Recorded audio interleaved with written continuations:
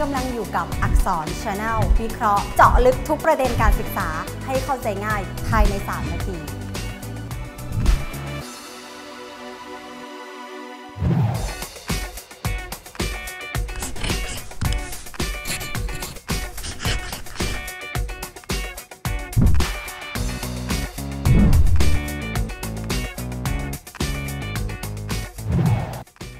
สวัสดีค่ะ ช่วงจริงไม่จริงกับอาจารย์เอกในวันนี้นะคะ เราจะมาไขข้อข้องใจกับประเด็นที่คุณครูหลายคนอยากบอก แต่ไม่เคยมีใครถามค่ะ จริงไม่จริงคะที่ไม่ใช่มีแต่เด็กนักเรียนที่มีการบ้าน คุณครูเองก็การบ้านเยอะเหมือนกันค่ะ ขอต้อนรับอาจารย์เอกรินศรีมหาศาลค่ะ สวัสดีค่ะอ่าอาจารย์ค่ะสวัสดีครับ อาจารย์เอกคะในครั้งที่แล้วอาจารย์เน้นย้ำไปแล้วว่าการบ้านเนี่ยยังจำเป็นสำหรับเด็กยุคใหม่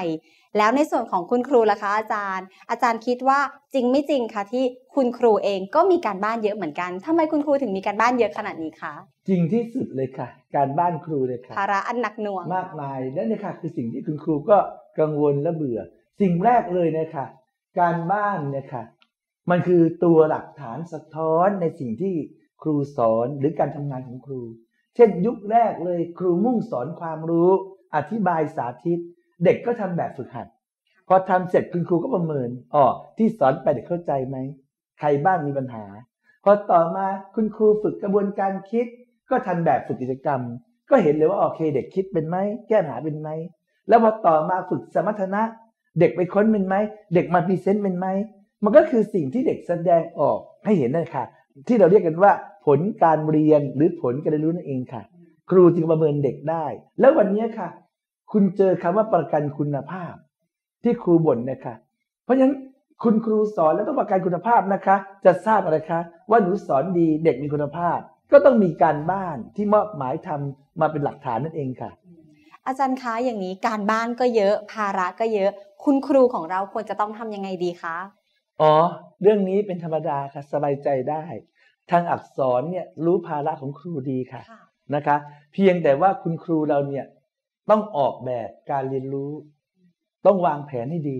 ตรงเนี้ยค่ะเป็นสมรรถนะของครูเลยค่ะ เช่น คุณครูจะสอนเรื่องเนี้ยก็ต้องวิเคราะห์มาตรฐานการเรียนรู้ วิเคราะห์ตัวชี้วัดที่ชัดก่อนว่า มันมีเป้าหมายจะให้เด็กเรามีความรู้ มีความเข้าใจ หรือมีความสามารถอะไร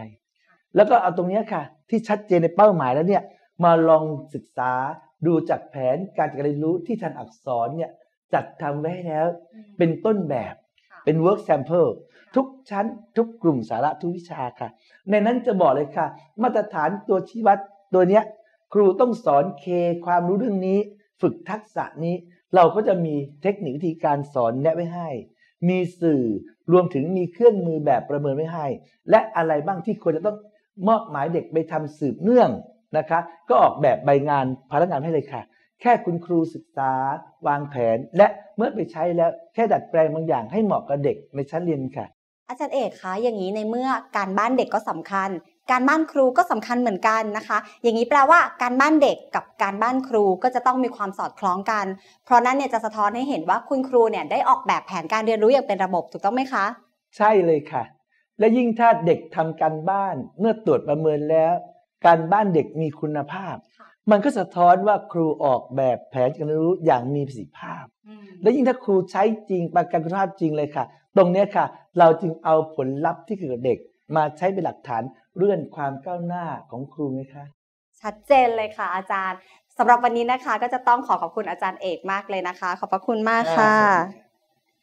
สำหรับในครั้งหน้านะคะ ในช่วงจริงม่จริงกับอาจารย์เอกค่ะ เราจะมาพูดคุยกันในประเด็นไหนนั้น ต้องคอยติดตามนะคะสำหรับวันนี้ สวัสดีค่ะ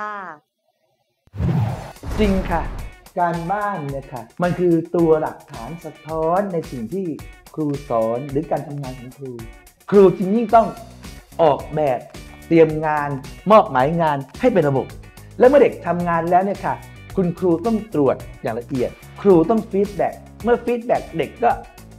พัฒนาตนเอง ในครั้งหน้าช่วงจริงไม่จริงกับอาจารย์เอกเราจะมาพูดถึงเรื่อง จริงหรือไม่ ครูปฐมวัยคือผู้วางรากฐานอนาคตของเด็กๆ แล้วพบกันทาง Facebook และ YouTube อักษร ในวันพุธที่ 25 กันยายนนี้ เวลาหนึ่งทุ่มตรง พร้อมกันทั่วประเทศ คุณกำลังอยู่กับอักษร Channel วิเคราะห์เจาะลึกทุกประเด็นการศึกษาให้เข้าใจง่ายภายใน 3 นาที